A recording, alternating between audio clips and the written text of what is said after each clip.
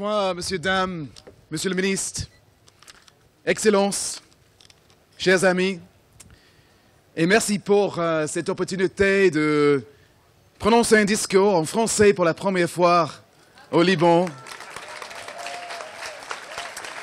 Euh, évidemment, je ne suis pas français, mais ce soir, nous saluons un héros international, un héros de France, un héros euh, d'Angleterre, un héros euh, libanais. Mais je, suis, euh, je serai très bref parce que je sais bien que le général de Gaulle, il n'a pas eu toujours un avis positif des diplomates.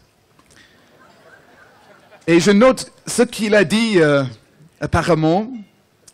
Il a dit sur les ambassadeurs, les diplomates ne sont utiles que par beau temps. Dès qu'ils pleurent, ils se noient dans chaque goutte. Donc, euh, comme euh, un bon francophone, j'ai seulement trois points.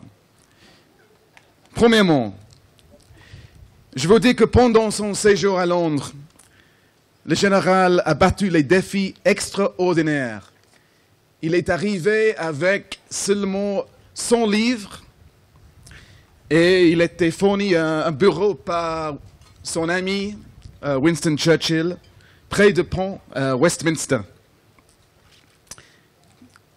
Et pour Churchill, c'était contre les conseils de son cabinet, de ses conseillers. Mais il a autorisé aussi l'appel. Et pendant ces années à Londres, le général a gardé toujours cette vision de la liberté de la France. Quel courage. Comme souvent en histoire, ces deux grands hommes, Churchill et de Gaulle, anglais et français, ils ont été les meilleurs ennemis et les meilleurs d'amis. Tous les deux, ces hommes histoire, pendant une époque quand nous les avions besoin. Ils n'étaient pas toujours d'accord, tous les deux. De Gaulle a dit en anglais, When I am right, I get angry.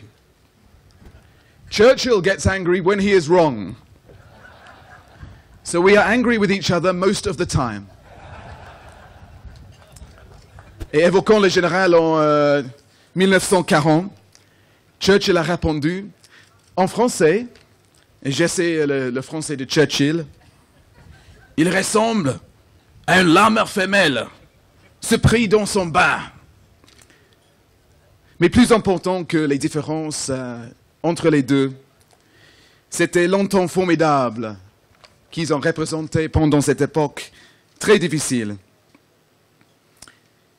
Et pendant ces périodes quand la liberté est menacée, les Anglais et les Français sont les meilleurs amis.